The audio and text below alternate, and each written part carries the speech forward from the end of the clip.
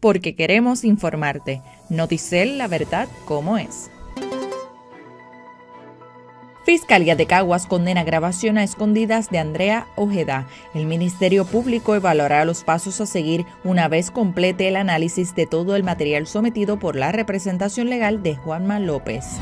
Juez federal ordena a la policía divulgar cómo ha usado 180 millones asignados a la reforma. El nuevo juez federal a cargo del caso de la reforma de la policía señala que desde el 2018 la uniformada ha incumplido con una directriz para proveer datos presupuestarios.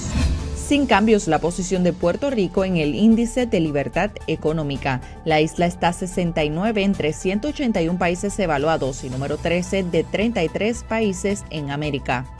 Para más detalles visita noticel.com o nuestras redes sociales y no olvide bajar nuestra aplicación de Noticel. Reporto para ustedes, Jailin Rivera.